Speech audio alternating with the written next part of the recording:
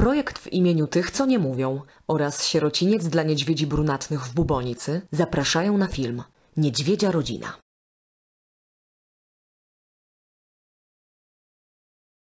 Czternastego lutego po raz pierwszy usłyszałam ten wrzask. Od tamtej pory stałam się pełnoetatową niedźwiedzią mamą. Te dwa maluchy trafiły do nas jako pierwsze. Ona i on. Roboty leśne spłoszyły ich mamę, która uciekła z gawry. W taki sposób niedźwiedzice zawsze reagują na dźwięk wystrzałów, huku czy krzyków w lesie. Niedźwiadki przychodzą na świat w trakcie zimowego snu niedźwiedzicy. Wtedy wyjątkowo potrzebują jej ciepła. Jeżeli jej zabraknie, w ciągu kilkunastu minut zamarzają. Sen mamy jest bardzo płytki, dlatego obudzić ją może każdy głośno i obco brzmiący dźwięk, na przykład urządzeń i pojazdów mechanicznych. Świadoma swoich niewielkich szans na obronę w gawrze, ucieka. Dla pozostawionych na mrozie młodych oznacza to tylko jedno.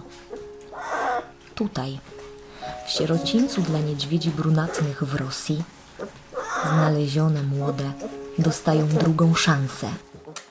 Mnóstwo mleka i porządny masaż brzucha po jedzeniu.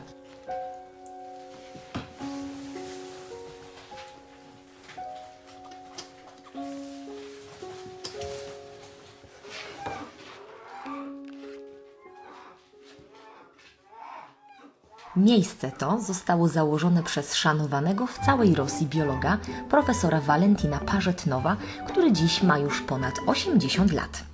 Połowę swojego życia poświęcił na badanie niedźwiedzi oraz opisał metodykę ich odchowu, z której dziś korzystają inne ośrodki rehabilitacyjne. Praca jego i jego żony kontynuowana jest dalej przez syna, synową i wnuka. Pierwszy okres odchowu niedźwiadki spędzają w ogrzewanym pomieszczeniu, gdzie zlokalizowane są dla nich zamykane boksy, w których śpią, stanowisko do przygotowywania mleka oraz kącik zabaw do wzmacniania mięśni i nauki chodzenia. Jest to mały, przytulny niedźwiedzi żłobek.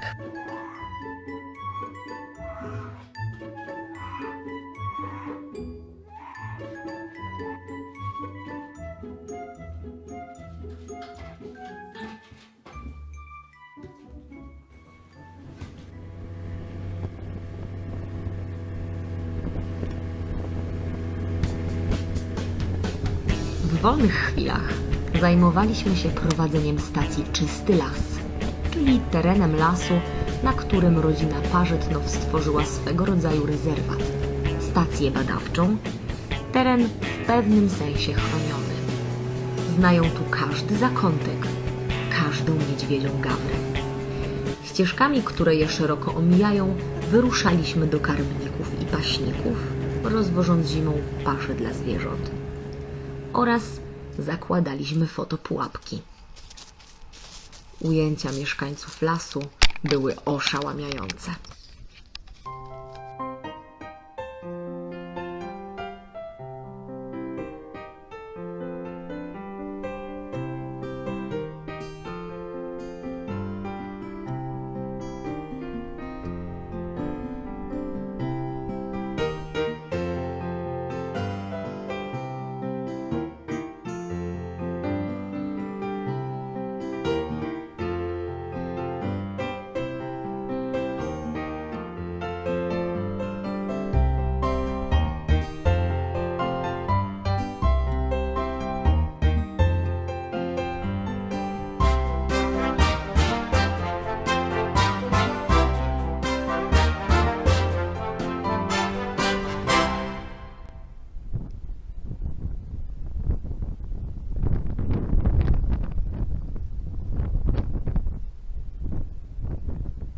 Materiały zgromadzone przez fotopułapkę uświadamiają zasadność ochrony terenów zielonych. Często nie zdajemy sobie sprawy z tego, jak różnorodnym las tętni życiem. Na początku do niedźwiadków przychodziliśmy co kilka godzin. Wymienialiśmy się w nocy i w dzień.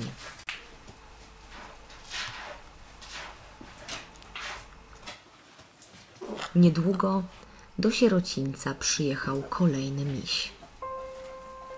Szybko okazało się, że potrzebna będzie interwencja chirurgiczna.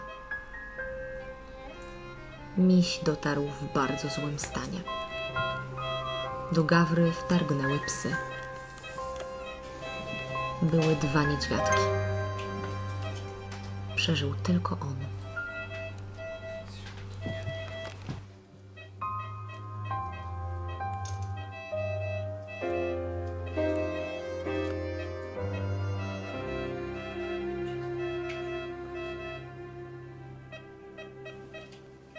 Sprzęt weterynaryjny razem ze specjalistami przyjechał z samej Moskwy.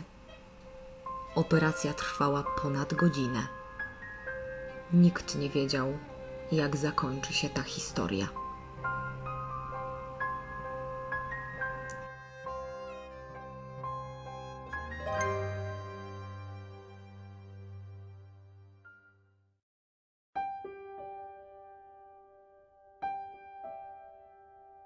Czwartego dnia po operacji niedźwiadek zaczął przyjmować pokarm. Przeżył. Druga szansa stała się dla niego rzeczywistością. Mijały dni, a zima wcale nie chciała się kończyć. Nam to jednak nie przeszkadzało. Rosyjski las, pokryty śnieżnym puchem, ma w sobie pewien czar. Można na niego spoglądać i nigdy nie mieć dosyć. Dzikiej przyrody Rosji nie znajdzie się już w innej części Europy. Stała się jedyną i niepowtarzalną, pozostała pierwotna i dzika. Rodzinie Parzetnow nie przeszkadzają stare, powalone drzewa. Nikt ich nie usuwa i nikt niczego nie wycina. Wiedzą, że drzewa pod każdą postacią są potrzebne do życia wszystkim gatunkom, jakie zamieszkują las. Pod wykrotami drzew sypiają niedźwiedzie, na starodrzewiu tokują głuszce. W mroźne marcowe poranki można oglądać tańce głuszca z bliska.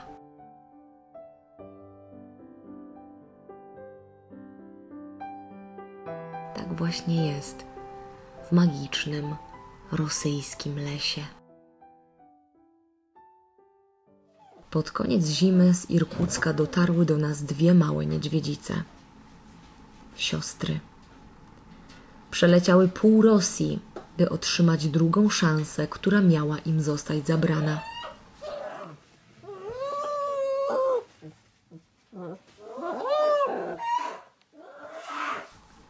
Miały trafić do cyrku. Ich matka najprawdopodobniej została zabita. Handel dzikimi zwierzętami oraz częściami ich ciał to w Rosji chleb powszedni. Niestety nie ma nad tym większej kontroli.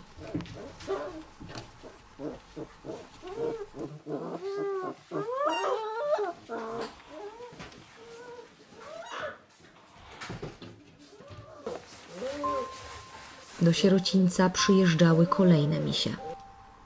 Znajdywane w kartonach obok ruchliwej drogi i takie, które miały zostać sprzedane jako urodzinowy prezent.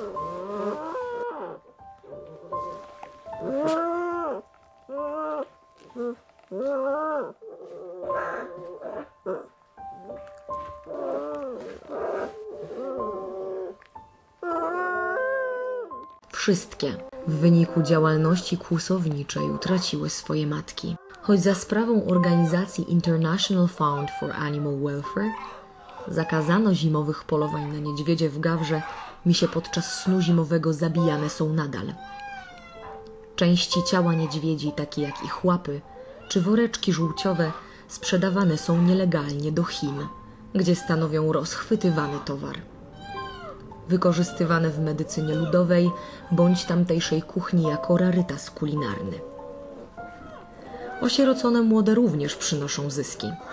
Handluje się nimi jak produktem, sprzedając osobom prywatnym bądź wykorzystuje w rozrywce. Tu, w sierocińcu, wszystkie te młode zostaną odchowane i wypuszczone na wolność. Przez cały okres opieki nad niedźwiedziami hołduje nam jedna, najważniejsza zasada. Misie nie mogą się oswoić. Podczas czynności nie odzywamy się do siebie, ponieważ misie nie mogą przyzwyczajać się do ludzkiego głosu. Nosimy te same stroje, by nie rozpoznawały naszego zapachu. Absolutnie nie głaszczemy i nie przytulamy. Unikamy zbędnego kontaktu, wykonujemy czynności szybko i jedynie te całkowicie niezbędne. To jedyny sposób na to, aby mogły wrócić na wolność.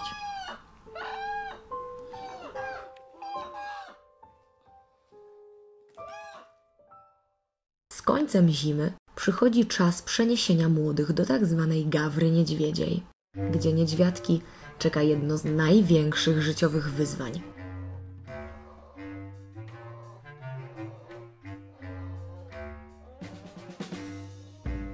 Próby osiągnięcia szczytu drewnianej wieży nie mają końca.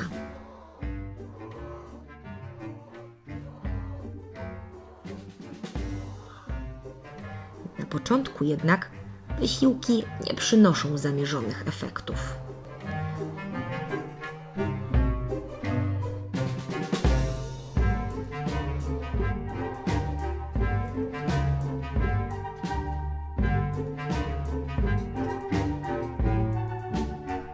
By kontakt z opiekunami podczas odchowu był jak najkrótszy, musieliśmy nauczyć misie jedzenia z misek tak szybko, jak tylko to możliwe.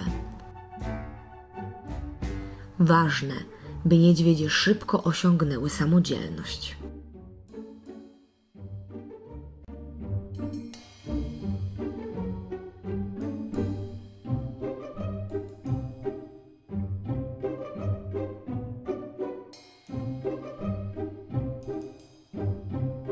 Nauka była mozolna i trudna. Na początku mleko rozlewało się we wszystkie strony świata. Niedźwiedzie nie miały pojęcia, dlaczego nie ma go w butelce. Z ich pyszczków można było wyczytać konsternację. Nie wiedziały, co to miska i nie miały pojęcia, co mają z nią zrobić.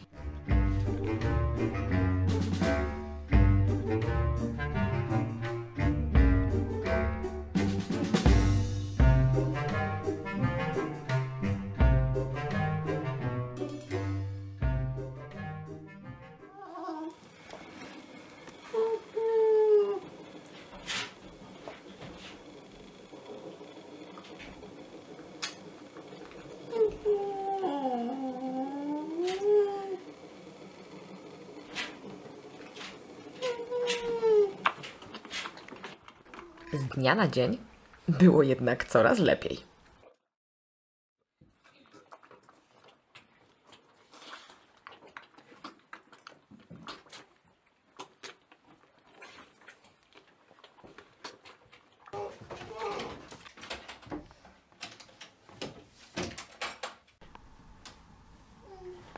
Niedźwiedzia mama w gawrze dba o czystość futerek swoich maluchów. My w sierocińcu musimy zrobić to za mamusię.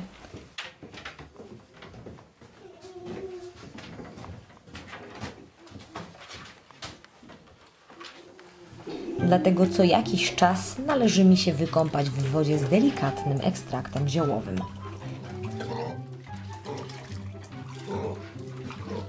Niedźwiadków jednak nie przekonuje argument ani że musimy, ani że pachnący ekstrakt ziołowy.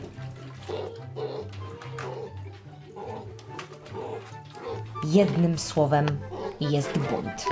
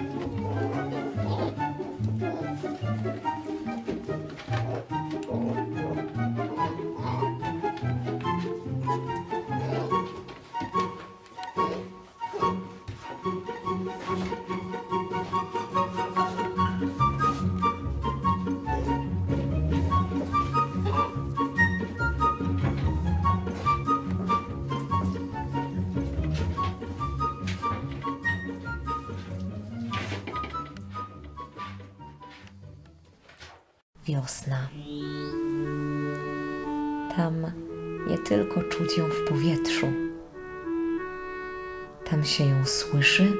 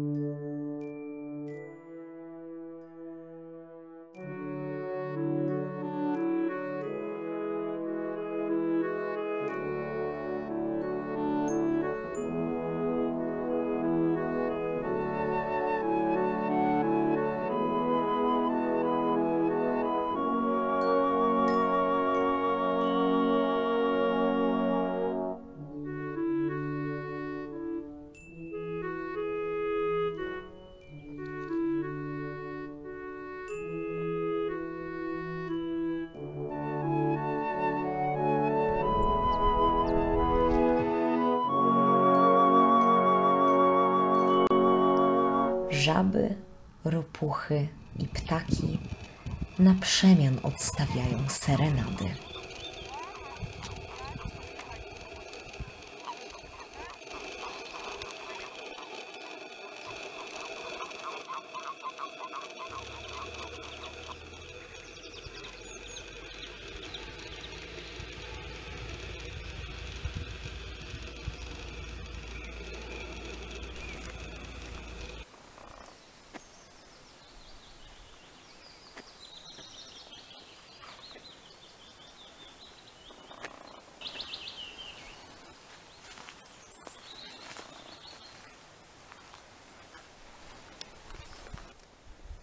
Ujawnia się całe piękno rosyjskiego lasu i okolicznych jezior.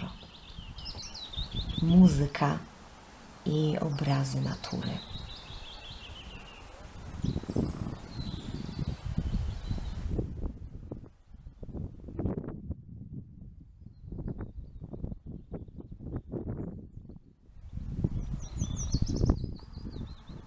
Ze znikającym śniegiem pojawiają się też inne rzeczy te, które przez miesiące ukrywał pod sobą biały puch śmieci. Stacja leśna rodziny Parzetnow nosi nazwę Czysty Las. Co roku ludzie organizują się i sprzątają to, czego nie chciało się zabrać innym. Rodzina Parzetnow czuje się do tego szczególnie zobowiązana, ponieważ jako miłośnicy i znawcy niedźwiedzi wiedzą oni, że śmieci zabijają niedźwiedzie.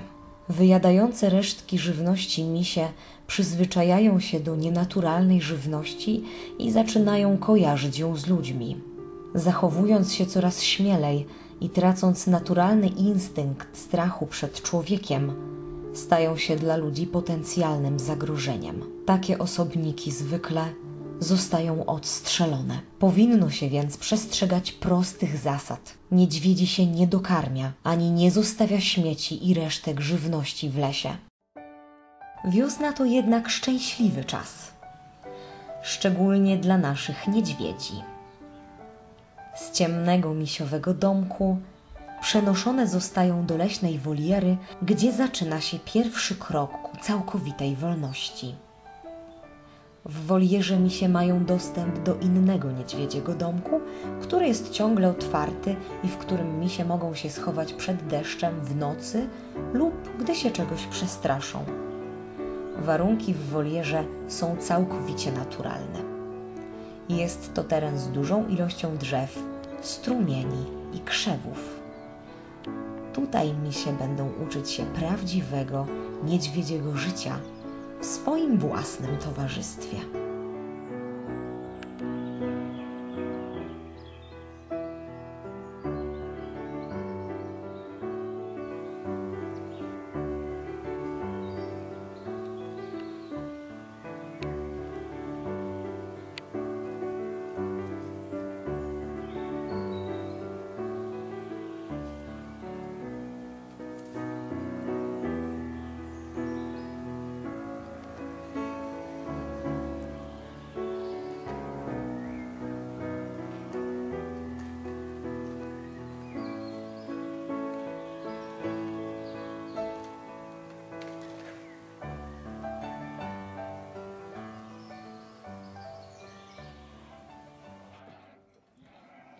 To pierwszy dzień nauki jedzenia z drewnianego urządzenia, które ma ograniczyć walki pomiędzy głodnymi misiami o miskę oraz uczyć misie niezależności w przyjmowaniu pokarmu.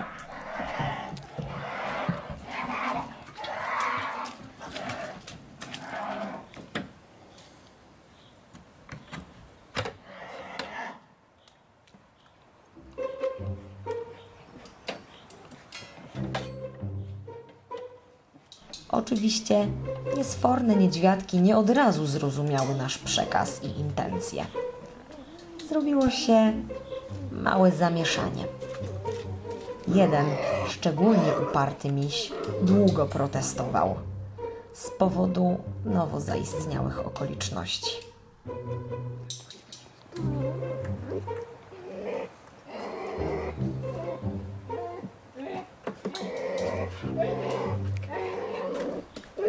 Końcu jednak doszliśmy do porozumienia, a każde kolejne karmienie przebiegało coraz sprawniej.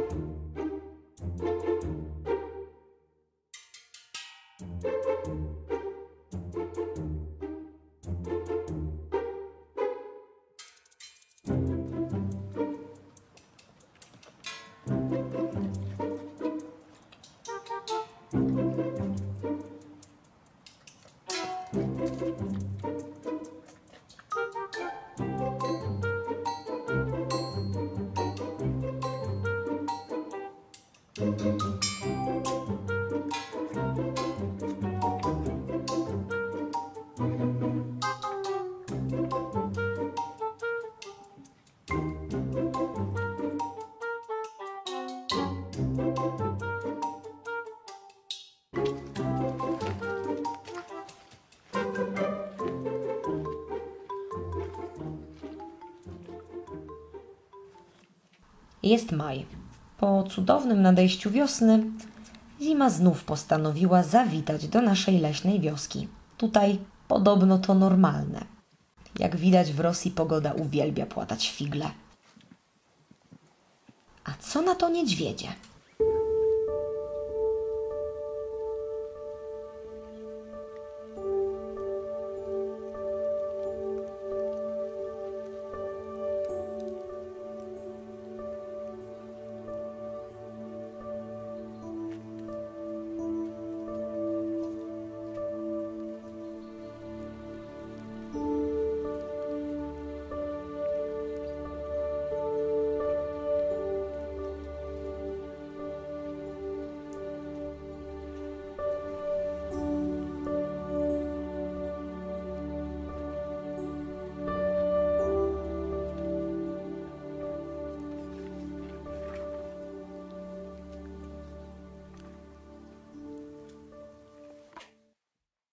Do codziennych obowiązków należało oczywiście przygotowywanie posiłków dla niedźwiedzi.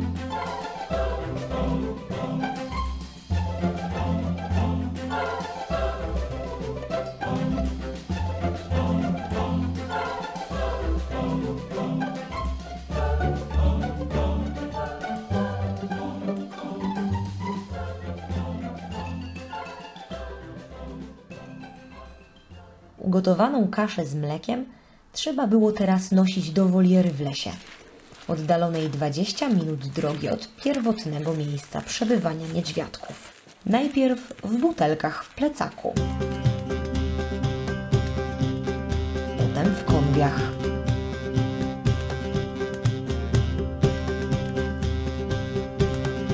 Aż w końcu wiadrami.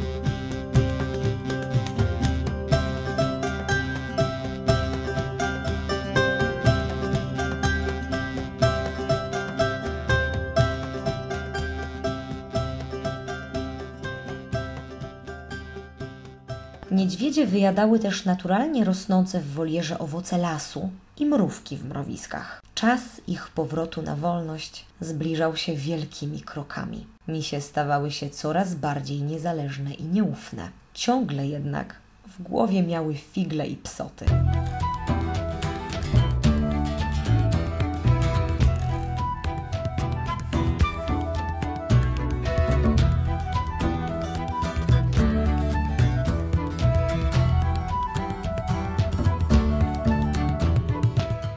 Późnym latem przychodzi czas na otwarcie bramy woliery.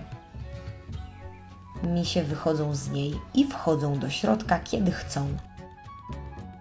Czasem spacerują po okolicznym lesie, uchwycone przez naszą fotopułapkę, dają nam wiele niespodziewanej radości.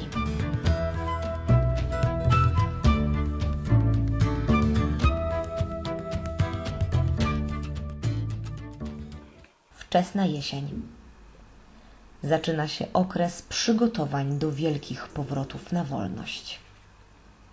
Niedźwiedzie osiągnęły odpowiednią wagę. Reagują na człowieka prawidłowo.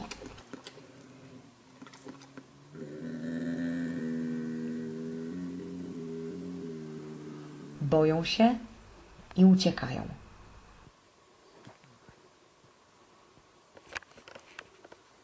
Ostrzegawczo porykują i mlaszczą.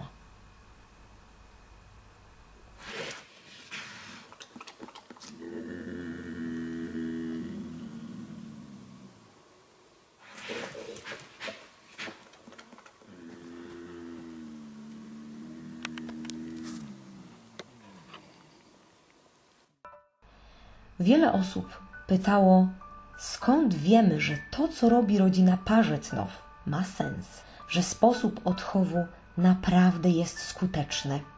Przed wypuszczeniem każdy niedźwiedź jest kolczykowany. Jego numery wpisywane są do księgi danych. Rodzina Parzetnow zna imię i datę przyjazdu oraz przyjęcia do sierocińca każdego misia, który tutaj trafił. Do tej pory wypuścili i odchowali ich ponad 200. A to jest Nora niedźwiedzica, która została wypuszczona na wolność ponad dziewięć lat temu. Wychowana w sierocińcu. Nie tylko przeżyła, ale co dwa lata dochowuje się trójki młodych.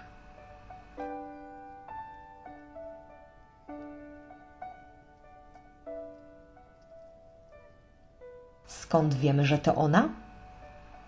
Na uchu widać kolczyk.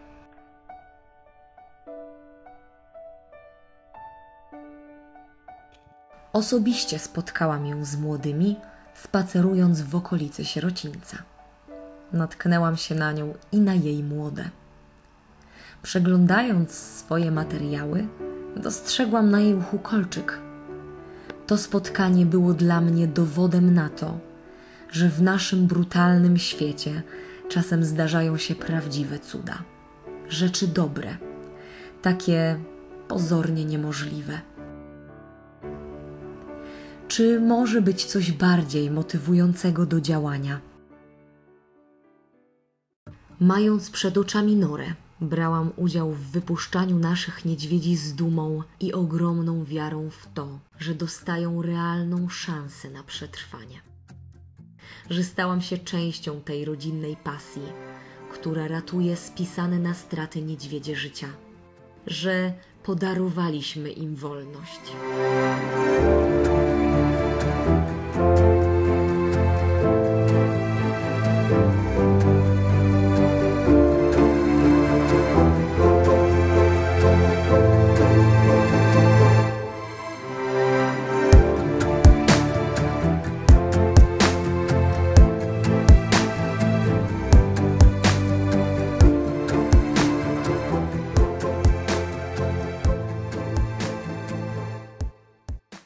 Przez sześć miesięcy nie tylko żyłam w niedźwiedziej rodzinie, ale stałam się jej prawdziwą częścią.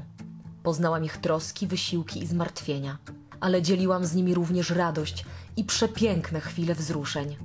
Wspólna pasja, miłość i szacunek do tego, co dzikie, pozwoliły nam się spotkać i żyć razem w jednym z najpiękniejszych miejsc na świecie. Razem walczyliśmy w imieniu nie tylko kilkunastu niedźwiedzi, ale wierzę, że w imieniu całej niedźwiedziej populacji żyjącej w Rosji i na świecie. Jest na Ziemi takie miejsce, gdzie na odbieranie życia niedźwiedziom reaguje się dawaniem drugiej szansy, a na ich zniewalanie przywracaniem wolności. Tam my i one, wszyscy, jesteśmy jedną niedźwiedzią rodziną.